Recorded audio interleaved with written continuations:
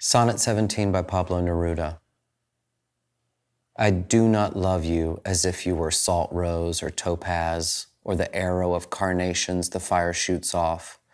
I love you as certain dark things are to be loved, in secret between the shadow and the soul. I love you as the plant that never blooms, but carries in itself the light of hidden flowers.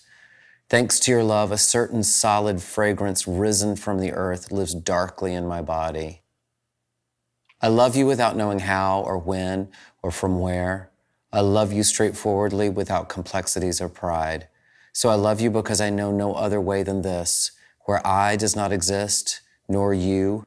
So close that your hand on my chest is my hand. So close that your eyes close as I fall asleep. I hate the word love and I swore I would never use the word love in a song. And it's such a, I don't know, it's just such a, it's such a problematic word that I have trouble. It seems to be, you know, the most important thing that we all need and everyone comes back to. It also seems to be the thing that can't be defined.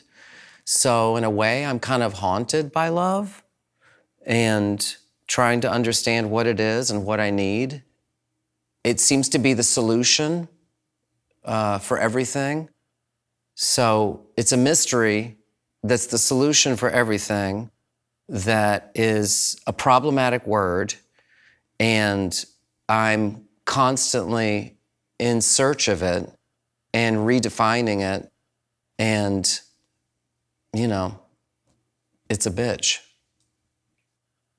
That's why I like this poem.